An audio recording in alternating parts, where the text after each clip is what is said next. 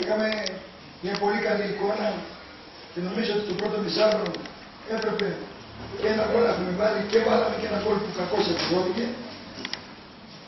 Δεκτήκαμε αυτό το υπέροχο γκολ από 30 μέτρα και μετά νομίζω ότι και εμείς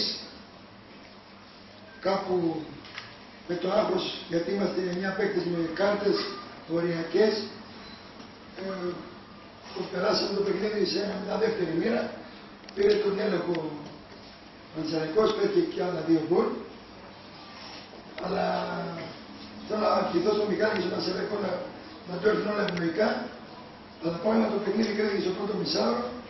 Και είναι κρίμα κάποια στιγμή να τα βάζουμε όλους τους διαιτές, ευθύνη έχουν και οι παρατηρητές διαιτησίας.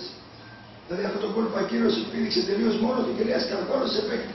Αν υπάρχει παίκτης κοντέρτια στα 5 μέτρα, τότε κάνω λάθος εγώ. Αλλά δεν υπήρχε παίκτη δίπλα από κανένα.